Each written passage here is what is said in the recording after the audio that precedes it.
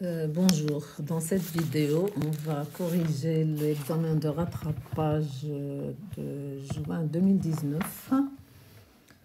Alors, c'est l'examen que vous avez sous les yeux. Donc, à l'exercice 1, on nous donne un endomorphisme de R3 et donc, on passe directement à la matrice, etc. Donc, on va voir exercice 2, exercice 3. Donc, prenez le temps de lire hein, tout l'énoncé avant de démarrer un examen. Alors, exercice 1, donc soit l'endomorphisme f de R3 défini par f de x, y, z égale x moins y, x plus y plus 2z, y plus z pour tout vecteur x, y, z dans R3 on nous demande dans la première question de calculer la matrice de f relativement à la base canonique B égale E1, E2, E3. Donc là, il y a une petite erreur de frappe. On ne met pas une base entre accolades, mais entre parenthèses, parce qu'une base est toujours ordonnée. Ok Alors, Première question, donc on y va. Première question. Alors, première question. Calculer la matrice. Alors, pour déterminer la matrice euh, dans la base B, je calcule f de E1, c'est-à-dire f2, 1, 0, 0. Donc, je remplace dans l'expression de f de x, y, z x par 1, y et z par 0. Alors ça me donne le vecteur, donc 1, 1, 0. f de E2 égale f de 0, 1, 0. Ça, c'est la base canonique de R3. Donc, je remplace dans l'expression de f de x, y, z, x et z par 0 et y par 1 ça me donne moins 1, 1 et 1. Et f de E3,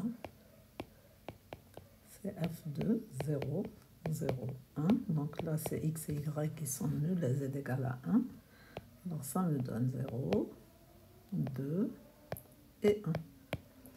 Et donc la matrice A, c'est la matrice de f je l'écris comme ça, le F dans la base B.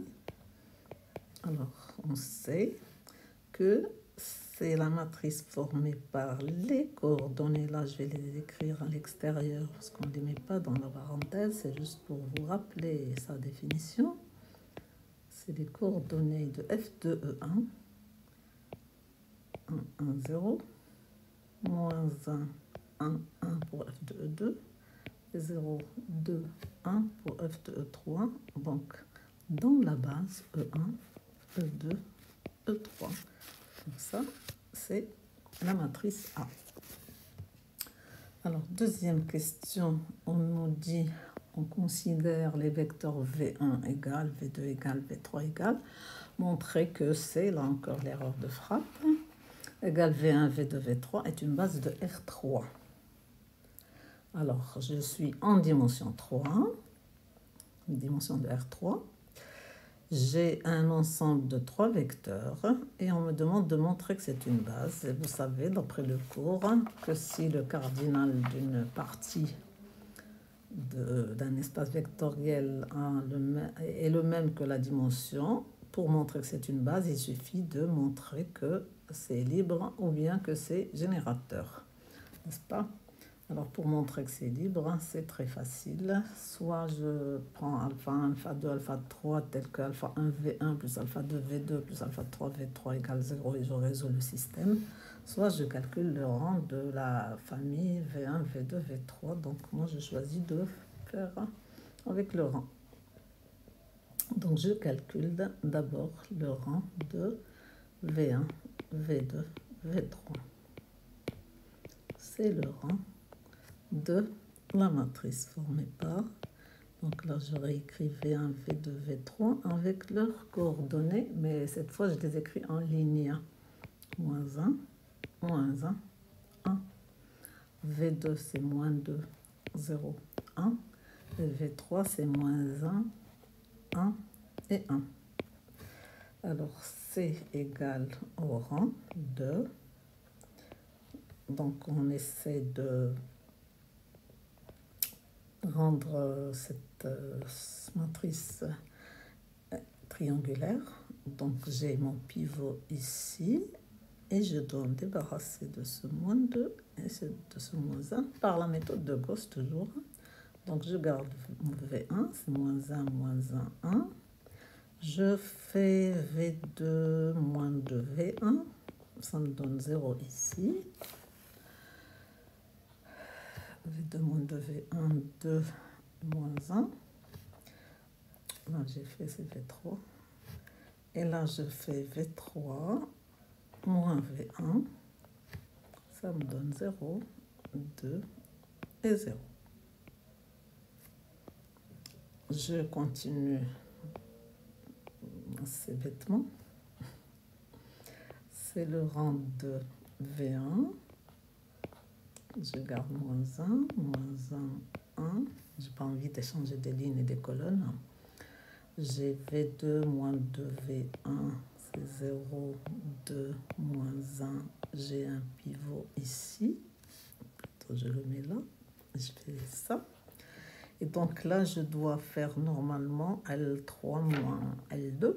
Alors L3 moins L2, c'est V3 moins V2 plus 2V1, plus V1, je veux dire, plus V1. C'est V3 moins V1 moins parenthèse V2 moins 2V1, ça donne en définitive V3 moins V2 plus V1. Et ça me donne 0, 0 et 1. Donc là, pour vous, je mets que j'ai fait L3 moins L2. C'est quelque chose que je ne mets pas sur une copie, mais bon, je la mets pour vous, pour que vous sachiez ce que j'ai fait. Voilà, donc euh, j'ai le rang qui est égal à 3, n'est-ce pas? J'ai trois lignes non nulles, le rang est égal à 3. Alors je reviens à la ligne, je dis que le rang de C est égal à 3, c'est la famille C qui est égale au cardinal de C.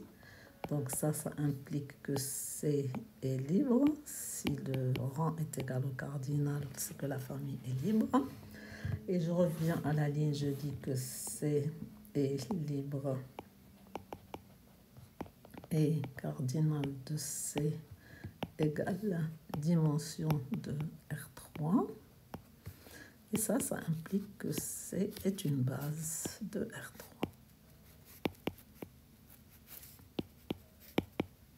Voilà, donc j'ai une nouvelle base. Alors on me demande à la troisième question de déterminer la matrice de passage de B en C. La matrice de passage B de B à C. Je fais comme ça. Ça, c'est P, tout simplement. Alors, cette matrice, elle est facile à écrire puisqu'il s'agit d'écrire tout simplement les coordonnées de V1. Je les mets à l'extérieur, V2, V3, dans E1, E2, E3. Alors V1, on m'a dit c'est moins 1, moins 1, 1. Donc, je vais les écrire. C'est moins 1, E1, moins 1, E2, plus 1, E3. Donc, si je devais écrire V1 en fonction de E1, E2, E3, j'aurais écrit V1 égale moins E1, moins E2, plus E3 en regardant les coordonnées de V1. Alors, V2, c'est moins 2 E1, 0, E2, plus E3. Et V3, c'est moins E1, plus 1, E2, plus 1, E3. Donc j'ai la matrice de passage. Quatrième question. C'est assez facile l'exercice. Calculer P-1.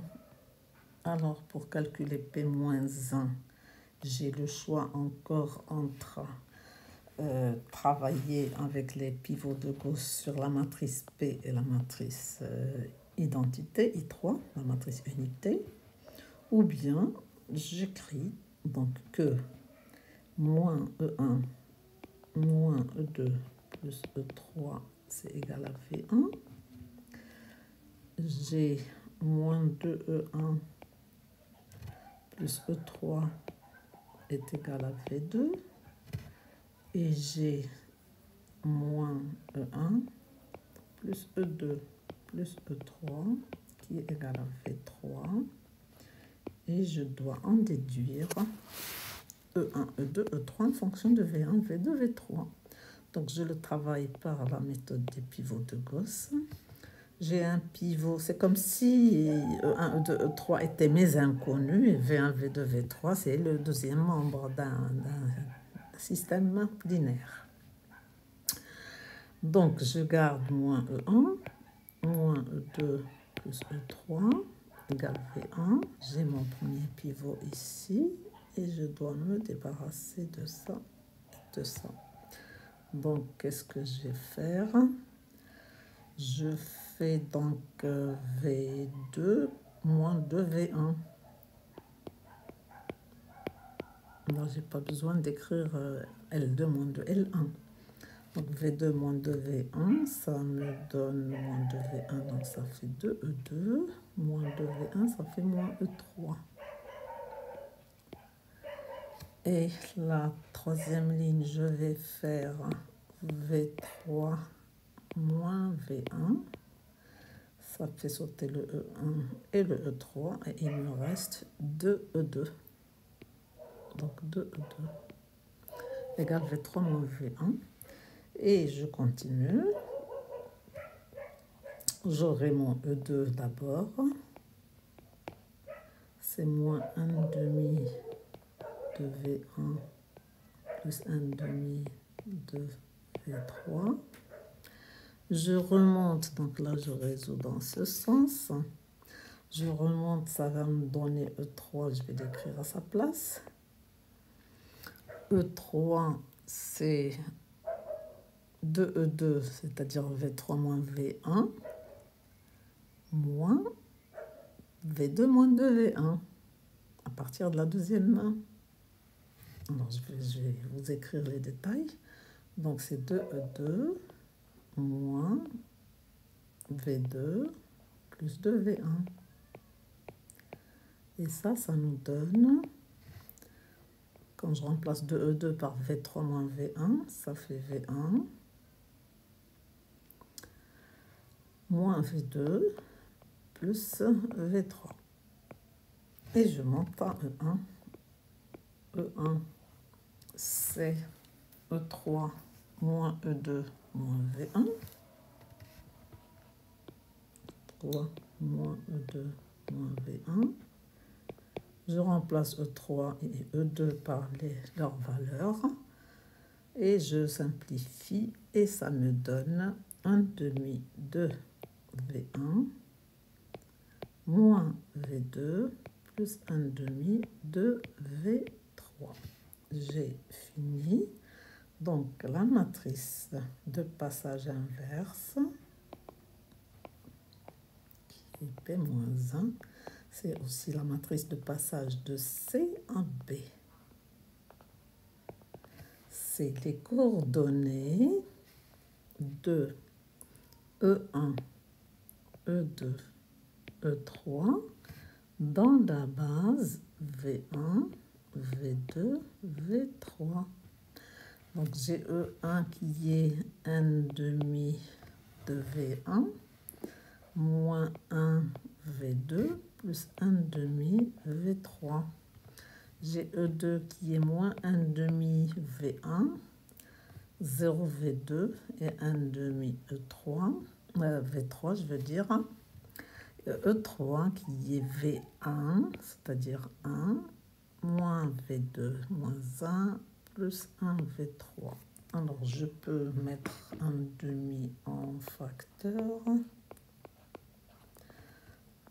Et si je ne veux pas traîner beaucoup de demi, donc P-1, ça va être 1 demi de 1, moins 2, 1, moins 1, 0, 1, P-1, donc 2, moins 2 et 2.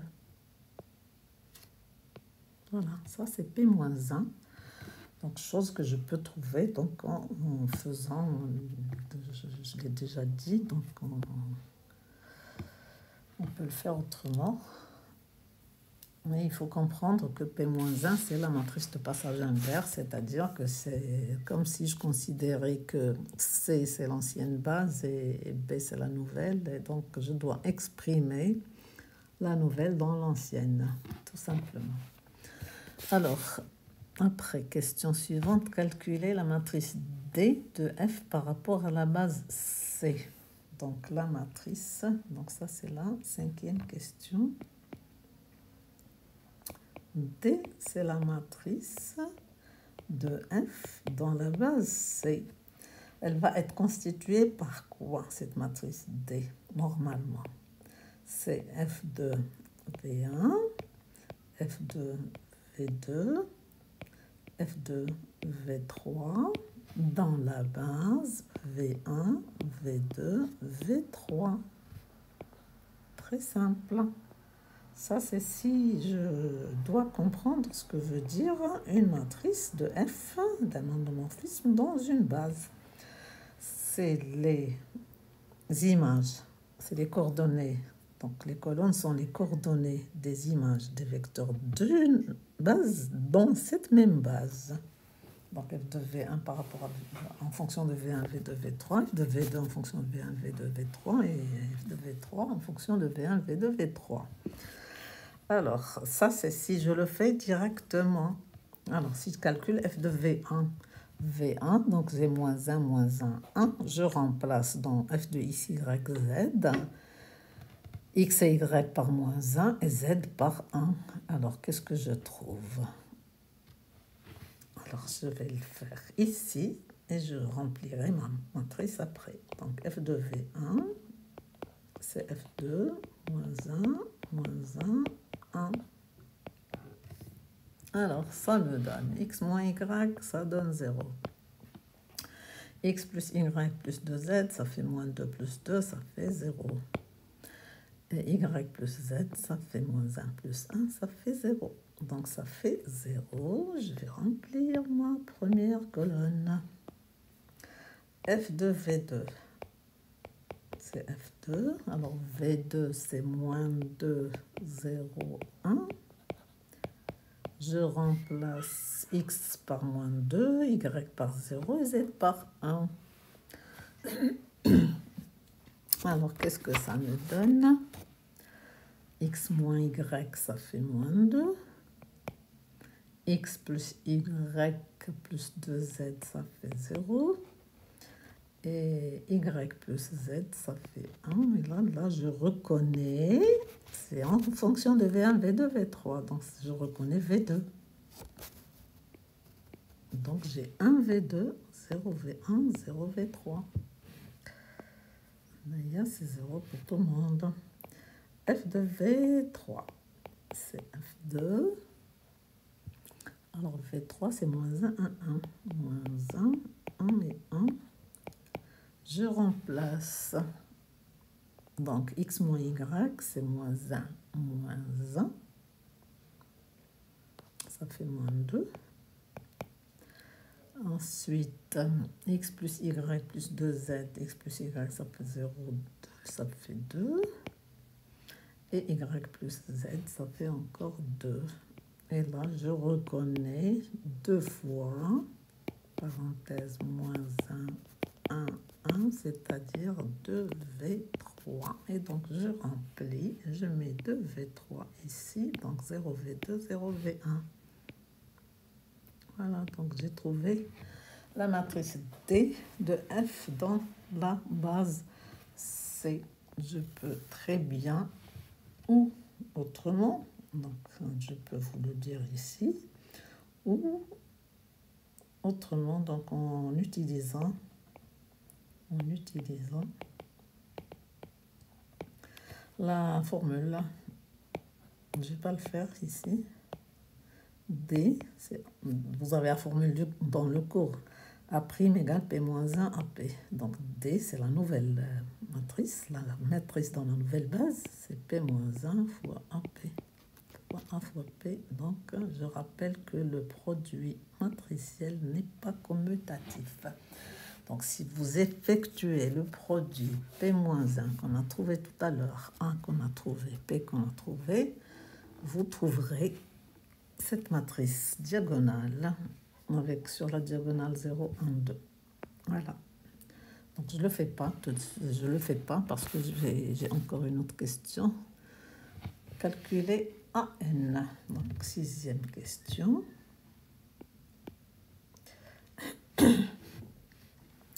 On sait, d'après le cours, donc, que D est égal à P moins 1 à P.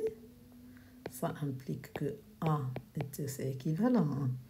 A égale P D P moins 1. Alors, alors, A à la puissance N, ça va être P fois D fois P moins 1 fois P fois D fois P moins 1 fois etc.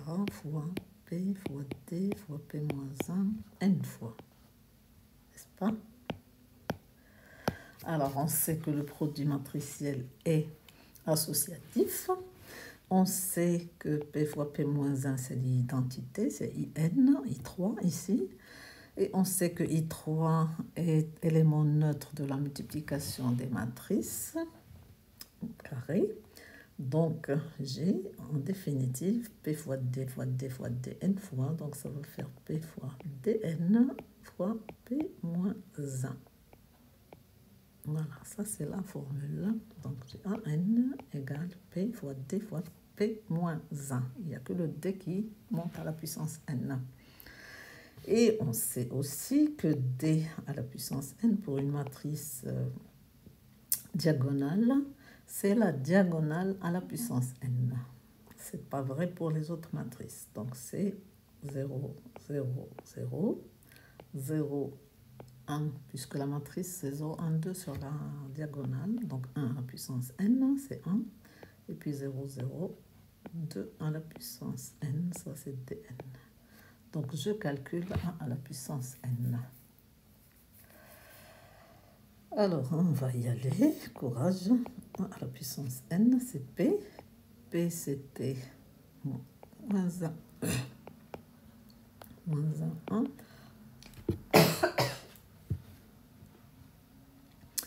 Moins 2, 0, 1.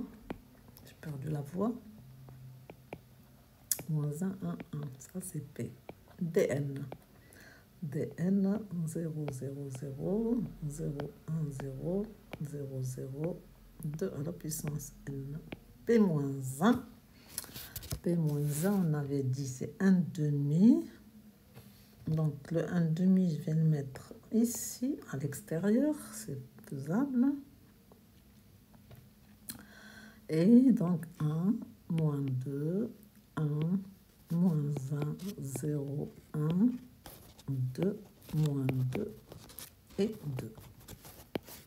Voilà, je multiplie. Alors, je peux faire les paquets comme je veux. Je fais ça, un demi. Donc, vous savez que le produit se fait ligne par colonne. Donc, première ligne, j'ai moins 1, et première colonne, donc première ligne fois première colonne. C'est toujours ligne par colonne. Donc, c'est pas colonne par ligne, c'est ligne par colonne. C'est LC. LC, pas CLC. L, c'est du chlore, ce qui va vous brûler. Donc, moins 1 fois 0, plus moins 2 fois 0, plus moins 1 fois 0, ça fait 0. Donc, ça, c'est là première ligne fois la première colonne. Deuxième ligne, première colonne, je suis là. Deuxième ligne, première colonne, c'est encore 0 puisque j'ai la première colonne qui est nulle. Après, la troisième aussi, donc parce que je multiplie toujours par la première colonne. Maintenant, première ligne, deuxième colonne. Donc ça va faire moins 1 fois 0, plus moins 2 fois 1, plus moins 1 fois 0, donc ça va faire moins 2. Ensuite, moins 1 fois 0, plus 0 fois 1, plus 1 fois 0, ça fait 0. Et ensuite, 1 fois 0 et 1 fois 1 et 1 fois 0, ça fait 1. Euh, troisième colonne. Donc c'est la première ligne fois la troisième colonne. J'ai moins 1 fois 0, moins 2 fois 0 et moins 1 fois 2 puissance n. Donc ça fait moins 2 puissance n. Il ne faut pas mettre de parenthèse. Ensuite, moins 1 fois 0, 0 fois 0 et 1 fois 2 à la puissance n, c'est ça. Et la dernière, c'est la même chose, c'est 2 à la puissance n. Donc, je continue, j'ai 1, moins 2, 1, moins 1, 0, 1, 2, moins 2 et 2. Donc là, je continue ma multiplication. Je garde mon demi à l'extérieur. Première ligne fois première colonne. Première ligne fois première colonne, 0. Moins 2 fois moins 2, ça fait 4. Et moins 2 à la puissance n fois 1, donc ça fait moins 2 à la puissance n. Après, j'ai 0, 0 et 2 puissance n. Et la troisième ligne, j'ai 0, moins 2, plus 2 à la puissance n. Moins 2, plus 2 à la puissance n. Ça, c'est la première colonne. Deuxième colonne, c'est en première ligne, deuxième colonne.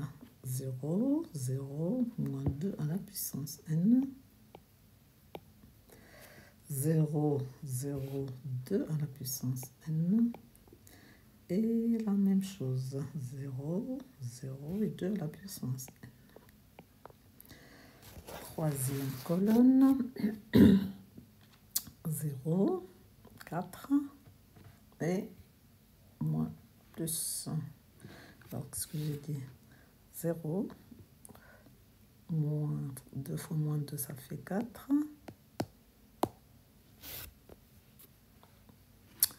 Mmh. 4. Oh. 4. Non, c'est pas la gomme. 4. Oui. Oh. Je touche le stylet. Voilà. Et j'ai donc moins 2 à la puissance n plus 1. Parce que c'est moins 2 fois moins 2 à la puissance n, ça fait moins 2 à la puissance n plus 1. Ensuite, j'ai 0, 0 et 2 fois 2 à la puissance n, ça fait 2 à la puissance n plus 1. Et après, j'ai 0, j'ai moins 2 et j'ai 2 à la puissance n plus 1. Donc, je peux simplifier par ce demi-là.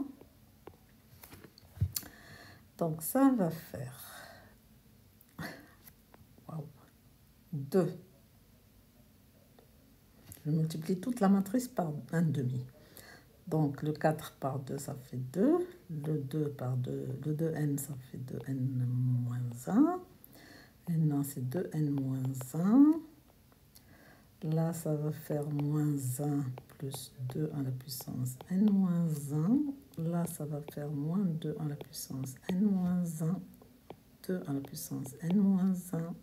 2 à la puissance n moins 1. Là, ça fait 2 moins 2 à la puissance n, 2 à la puissance n et moins 1 plus 2 à la puissance n. Ça, c'est notre matrice AN. Fini pour cet exercice 1. Alors, deuxième exercice, on nous donne, donc exercice 2, on nous donne la matrice A égale 1, 3, moins 5. Je lis en colonne toujours. 2, 1, 8, 4, 7, moins 2. Alors, on me demande de calculer le rang de 1. Ça, c'est un tout petit exercice. Le rang de 1, c'est le rang des vecteurs colonnes ou des vecteurs lignes. C'est la même chose. Donc, je mets 1, 2, 4, 3, 1, 7, moins 5, 8 et moins 2. C'est le rang de... Je garde la première ligne et je me débarrasse de ça. Donc, je fais un stylo un stylo. Donc, ça va être donc le 1, 2, 4, je garde. Là, je vais faire un L2 moins 3, L1, ça fait 0. 1 moins 6, ça fait moins 5. Et 7 moins 12, ça fait encore moins 5. Et là, je fais L3 plus 5, L1, 0. 8 plus 10, 18. Moins 2 plus 20, 18. Alors, c'est égal au rang de je garde donc ce pivot et je me débarrasse de ça. Ça va faire donc 1, 2, 4, 0, moins 5, moins 5. Donc là, je vous écris ce que j'ai fait ici. Donc là, j'ai fait L2 moins 3, L1. Et là, j'ai fait L3 plus 5, L1. Et là, je vais faire L3 plus 18 cinquième de L2.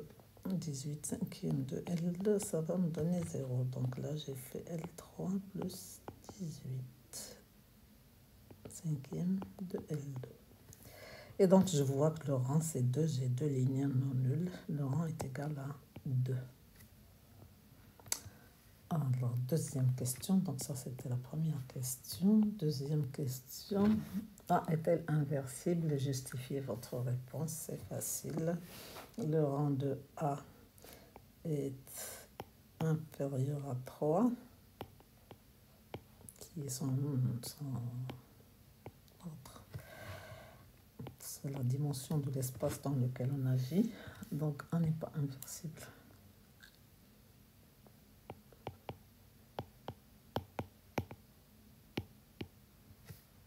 pas inversible. Voilà. Alors, exercice 3. Euh, on nous demande, on nous donne U, l'application définie, donc sur R2 de X. Là, donc on a appelé l'application U, qui va de R2 de X dans R2 de X qui a un polynôme P associe x fois P' plus P de 1, c'est-à-dire la valeur du polynôme en 1. P' est le polynôme dérivé de P. Alors là, on unit encore l'espace R2 de x de sa base canonique B1x x carré. Il y a encore l'erreur sur les accolades. Donc B c'est 1x x carré, parenthèse, 1x x carré que les parenthèses indiquent que l'ensemble est ordonné, alors que les accolades, l'ensemble n'est pas nécessairement ordonné. Alors, première question montre que U est linéaire. C'est facile. Donc, ça devient un endomorphisme puisqu'on va de R2 de X dans R2 de X. U est linéaire, donc je vais prendre soit... Euh, alors, je prends alpha dans R et Q dans R2 de X et je calcule U de alpha P plus Q.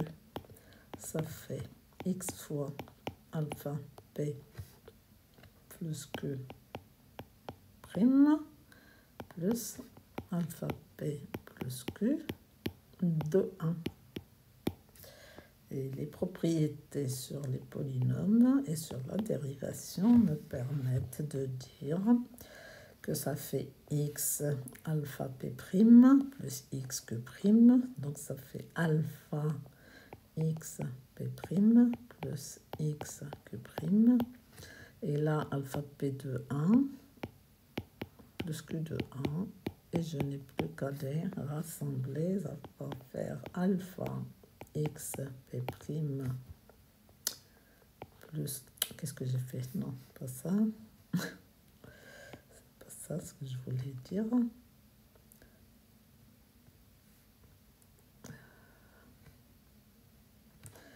C'est... Qu'est-ce que j'ai fait? C'est alpha, pardon, x p' plus p de 1 plus x q' plus q de 1. Et ça, ce n'est autre que alpha u de p plus u de q. Donc u est linéaire. Est linéaire. Ça résulte de la linéarité de la dérivation. Alors, euh, soit P égale 1 plus Bx plus Cx carré, un vecteur de R de 2x, exprimer les coordonnées de U de P dans la base P. Ah bah, je n'ai qu'à écrire. Euh, donc, euh, P'. Alors, U de P, on dit c'est X P' plus P de 1. Alors, ça fait X P', je dérive P ça va être B plus 2CX plus P de 1. P de 1, je remplace X par 1, ça va faire A plus B plus C. Et donc ça va faire A plus B plus C, ça c'est la constante, plus BX plus 2CX carré. Et donc les coordonnées sont U de P, les coordonnées sont 1 plus B plus C, point virgule, B point virgule 2C. Si j'écris le vecteur comme... Donc il a pour coordonnées. Hein. Si je confonds le vecteur avec ses coordonnées, tout simplement. Alors, petit 3, question 3, donner la matrice a de U relativement à la base B. Bah, c'est facile. Je calcule U de 1, je calcule U de X et je calcule U de X au carré. Je remplace. Donc, je remplace avec les coordonnées tout simplement U de 1 c'est le A qui est 1, B et C sont 0. Donc, si je calcule, ça va faire 1. U de 1, c'est 1. U de x. U de x, c'est le b qui est 1. A C sont 0. Donc, le b est égal à 1, ça fait 1. Plus x. N'est-ce pas? Je dérive x prime, ça fait 1. P de 1, ça fait 1. Ensuite, pour x carré, c'est le c qui est égal à 1. Donc, je vais avoir un 1 plus 2x carré. Et donc, la matrice, alors on l'a appelée A, c'est la matrice donc dans laquelle je vais mettre U de 1 u de x, u de x carré par rapport à 1, x, x carré. Donc, on a trouvé 1, 0, 0. J'ai trouvé 1, 1 et 0. 1, 0 et 2. Je mets les coordonnées montrer que R de U est égal à 0 de R de 2X. Quatrième question, c'est facile.